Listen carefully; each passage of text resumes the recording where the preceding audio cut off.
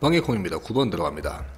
자, 솔로몬은 진행했어. 자, repeat 반복하는 것을 자, all that he had been told 대가고 플러스 수동 이전에 그가 말을 들었던 것을 단어에서 단어로 자, 그러면 리피트 하다는 거에서 보면 앞에는 뭔가 솔로몬이라는 사람이 듣는 내용이 나오겠죠. 듣기. 그리고 들은 것을 반복해서 반복을 해서 계속 얘기했어. 그럼 뒤에 나오는 결과. 어떤 식으로 결과가 일어났을까? 이거 행동을 끝난 후에. 이 정도로 볼 수 있습니다. 자, 1905년도에 19살에 모스코 신문 리포터인 콜드 모모라고 불리는 이죠. 그러면 살로몬 뭐 위에라고 불리는 애가 턴업 나타났어. 이를 위해서 자, as usual 평소처럼 그 다음 기다렸어. 두 번째 동사 for daily 그러면 일상에 매일 하는 미팅을 자, 위드 편집자와 함께 신문에 그래서 where로 잡았죠. 뒤에 완벽한 문장 들어가요.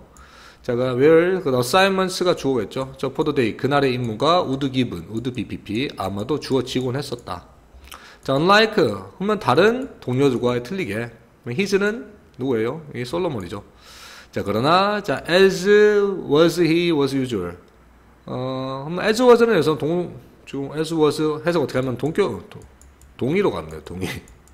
뭐뭐처럼이에요. 그러면은 그가 평상시 했던 것처럼 솔로몬은 did not take note 어떠한 노트도 not any죠. 적지 않았어. about 그 미팅에 대해서. 그 편집자는 헤드 대각어 이전에 알아차렸는데 이것은 뭐예요? 얘가 노트 안 적는 것을 저 비포 이전에 저 위드 서프라이즈 놀라움과 함께 자, 이번에는 결정했는데 리프로치노에서는 나무랄라고 솔로몬을 자, 안 나오던 단어죠. 얘.